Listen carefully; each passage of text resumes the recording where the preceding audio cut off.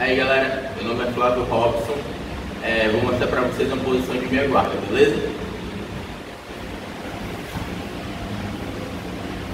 Tô aqui com o parceiro, ele tenta estabilizar, nem sempre quando ele esgrima, ganha essa esgrima da mão esquerda, quer dizer que você tem que manter as costas do tatame, certo?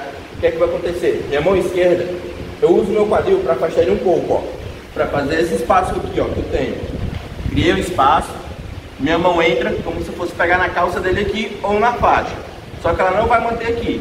Eu vou voltar e vou criar um espaço para minha mão esquerda passar por baixo da barriga dele, ó. Pronto. Ela entrou. Ela vem vir para cá, para lateral dele.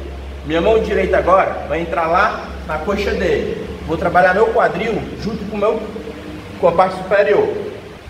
Ó. Joga.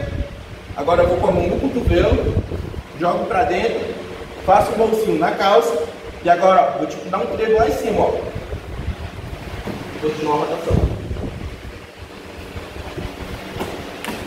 Aí galera, agora vou mostrar ela passo a passo, beleza?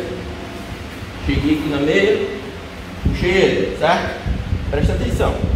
Minha mão direita, minha mão esquerda, quando ela baixa, é o primeiro. Ó, um, certo? Quando ela passa para outro lado e eu fugo, dois, meu irmão vai entrar lá embaixo, ó. A perna dele. Três. Quando o meu quadril vem. Quatro. Beleza? Quando a mão vem pro cotovelo, é a quinta posição, ó. Cinco.